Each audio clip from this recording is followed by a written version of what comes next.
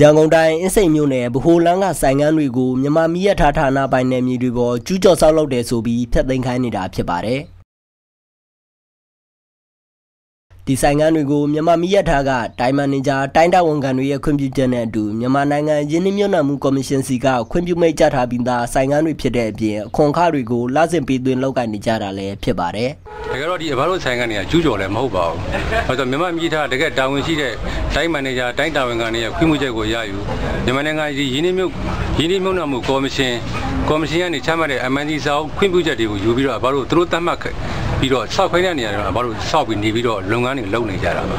ဒီလုပ်တဲ့ဆိုတဲ့နေရာမှာလည်းနိုင်ငံတော်ရဲ့အပွန်ကားတို့လည်းအဘတို့အခုလောက်ကင်တဲ့ကာလအတွင်းမှာခဏအထိပေါ့လေတချို့ဆိုင်တွေဆိုတစ်နေ့တချို့ဆိုင်တွေဆိုနှစ်နေ့တချို့ဆိုင်တွေဆိုသုံးနေ့ပေါ့လေဒီလိုရှိနေကြတဲ့ဆိုင်တွေဒါပေမဲ့အဲ့ဒီဆိုင်အားလုံးဟာ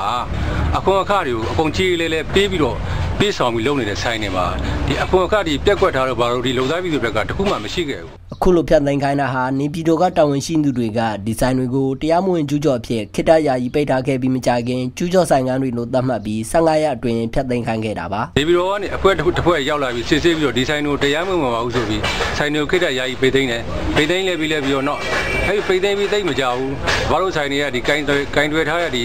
MNC ခွင့်ပြုပြီးဒီနံပါတ်တွေကိုသူတို့ယုံသိမ်းဖြစ်တယ်ယုံသိမ်းပြီးပြီးနောက်ပိုင်းမှာသိမ့်မကြောက်တကဆိုင်တွေကိုကျူးကျော်လို့သတ်မှတ်ပြီးတော့သူသတ်မှတ်တဲ့ကာလ15ရက်အတွင်းမှာဖျက်ပေးပါဆိုပြီးတော့သူတို့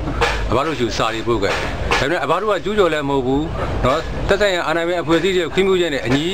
ဆောက်ပြီးလောက်ကင်တဲ့ဆိုင်ကနေလည်းဖြစ်တယ်အဲ့လိုဖြစ်တယ်လို့လည်း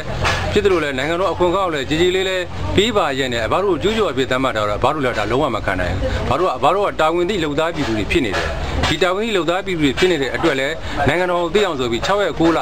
ဘာတို့2017ခုနှစ်မှာနိုင်ငံတော်သမ္မတကြီးထံကိုဖြစ်စဉ်အသေးစိတ်အမှောင်တင်ပြပြီးအဘတို့တိုင်ကြားခဲ့တယ်ဆိုင်ငံပိုင်ရှင်တွေအနေနဲ့သက်ဆိုင်ရာအာဏာပိုင်တွေစီအစင်းစင်းတိုင်ကြားပြီးမဲ့လည်းထိရောက်တဲ့ဆောင်ရွက်ပေးမှုမျိုးမရှိခဲ့ပါဘူးပထမဆုံးရင်အဘတို့ဒီမြို့နယ်အုပ်ချုပ်ရေးမှုကိုစပြီးဘာလို့အခြေခံနေစပြီးတိုင်ကြားပါတယ်ဒါပေမဲ့အဲ့ဒီအပေါ်မှာလည်းဘလို့မှအရေးယူဆောင်မှုမရှိတဲ့အခါကျတော့ဒုတိယအကြိမ်မှာဒီ6ရက်9လ2017ထဲမှာနိုင်ငံတော်သမ္မတကြီးကိုတစ်ကြိမ်တိုင်ကြားခဲ့တယ်အဲ့တိုင်ကြားချက်အပေါ်မှာလည်းနိုင်ငံတော်သမ္မတကြီးကနေပြီးတော့ နဲ့တဆင့်ဒီပြည်တော်စုဝင်ကြီးအစင်းကိုညွှန်ကြားချက်အရာပေါ့လေသူတို့ရှိကညွှန်ကြားချက်အတိုင်းဘာလို့ရှိကိုဟိုပေါ့လေအကြောင်းကြားတာတွေဟိုပါသူတို့သူတို့ဌာနကိုရောက်လာပါတယ်ရောက်လာလို့အဲ19ရဲ့6လဒီ2017နှစ်မှာအဘတို့ဒီမြန်မာမီတာ BMI ခန်းမှာခေါ်ပြီးအစည်းအဝေးထိုင်ခဲ့ပါတယ်အဲ့ဒီအစည်းအဝေးမှာတော့သူတို့တာဝန်ရှိပုဂ္ဂိုလ်တွေပြောကြချက်ကအဘတို့ဆိုင်ကန်းအားလုံးကိုပြည်တော်စုဝင်ကြီးကဖျက်မိန်ချထားပြီးဖြစ်တဲ့အတွက်ဒီဆိုင်နေရာဒီမှာနေလို့မရတော့ဒါမှမဟုတ်သူတို့သတ်မှတ်တဲ့ကာလအတွင်းမှာဖျက်ပေးပါလို့သူတို့အစည်းအဝေးမှာပြောကြားခဲ့ပါတယ်အဲ အဲ့လိုပြောကြားပြီးတော့သူတို့ဒီအောက်မြန်မာပြည်တာဝန်ခံကနေပြီးတော့သူဥဆောင်ညွှန်ကြားမှုထောင်ကိုသူတို့အစီရင်ခံစာတင်တဲ့အခါမှာအဲ့အတင်တဲ့စာကိုလည်းအဘတို့ရှိကိုသူတို့မိတ္တူပေးတယ်အဲ့မိတ္တူပေးတဲ့အခါကျတော့မှတကယ်တမ်းပြည်တော်စုဝင်ကြီးနဲ့ဝင်ကြီးတစ်တို့ရဲ့ဒုဝင်ကြီးတစ်တို့ရဲ့ညွှန်ကြားချက်ကအစည်းအဝေးမှာလောက်တာလွဲမှားနေကြအောင်အဘတို့သိခဲ့ရတယ်တကယ်တော့ဒီပြည်တော်စုဝင်ကြီးနဲ့ဒုဝန်ကြီးတို့ရဲ့ညွှန်ကြားချက်ကနော်စစ်ဆေးပေးပါဖြစ်စဉ်ကာယကံရှင်တွေကို ဖြစ်စဉ်ကာယရှင်တွေအမှန်ကိုရှင်းပြခိုင်းပါလို့ဒီလိုစစ်ဆေးခိုင်းတာဒါပေမဲ့သူတို့ရဲ့တကယ်ဒန်ဒီအောက်မြန်မာပြည်ဒါပင်ခံအနေနဲ့ဒီတိုင်းခုနှစ်တိုင်းမန်နေဂျာကြီးအဖွဲ့ကဘာလို့အစည်းအဝေးမှာတကယ်တမ်းပြောတာကပြည်တော်စုဝန်ကြီးကဖျက်ခိုင်းတယ်လို့လိန်ပြီးတော့ဒီအစည်းအဝေးမှာသူတို့ပြောခဲ့ပါတယ်ဒီဒီပြောတဲ့ပြောကြားချက်ကလည်းသူတို့ဟို already အစီရင်ခံစာတင်တဲ့အခါကျတော့မှဝင်းကြီးရဲ့ညွှန်ကြားချက်အမှန်အဘတို့ကလည်းသိရတာပါဒါပေမဲ့သိရတဲ့အတိုင်းဟိုအဘတို့9ရက်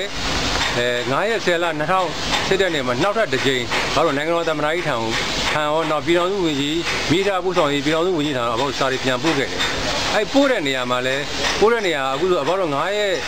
အဲ10လကနေပို့လိုက်တာခုနေ့ထိရတော့ပြီးတော့နောက်တော့ပြန်ကြားချက်တွေမလာသေးဘူးပေါ့ခုလိုကျူးကျော်ဆိုပြီးဆိုင်ကန်းတွေဖြတ်သိမ်းရမယ့်အပေါ်ဈေးအောင်ချနေတဲ့ပြည်သူတွေအနေနဲ့စာဝတ်နေရေးအခက်အခဲတွေနဲ့ကြုံတွေ့နေရတဲ့အတွက်သမရကြီးထံအတနာခန့်စာတင်ပြနေတာလို့သိရပါတယ်ခင်ဗျာဖြတ်သိမ်းမဲ့တာဝန်ရှိသူရဲ့နာမည်တော့ဟိုရန်ကုန်တိုင်းအောက်မြတ်မာပြည်တိုင်းကတာဝန်ကအထူးရေးမန်နေဂျာဦးမြင့်ဝေနဲ့နောက်တိုင်းခုနှစ်တိုင်းအခွန်စီမံစည်းဝါးတိုင်းမန်နေဂျာအဲဦးစိုးမောင်တို့ဖြစ်ပါတယ်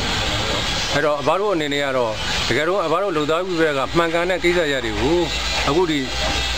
ဒီမိသားဌာနမမှန်မှန်ကန်လုပ်တဲ့လှုပ်ဆောင်လှုပ်ဆောင်ချက်တွေကိုသေချာစီစစ်စစ်နဲ့ဘာလို့လူသားပြည်သူတွေကိုဘက်ကတော့ပြန်ပြီးတော့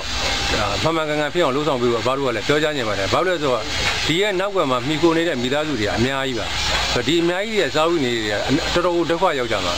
ဆိုတော့ဒီလုပ်ငန်းတွေရက်လိုက်ပြီဆိုရင်အဘတို့မှလှုပ်ရှားစရာလုပ်ငန်းတွေမရှိဘူးပေါ့လေမရှိတဲ့အတွက်လည်းအမှစားဝိနေအမှန်အခက်အခဲဖြစ်လွန်ကြီးကိုလည်းနိုင်ငံတော်သမ္မတကြီးထံအဆင့်အထိတော့အဘတို့အဆင့်နဲ့တင်ပြပြီးတာအသနာခံတင်ပြနေတာပါ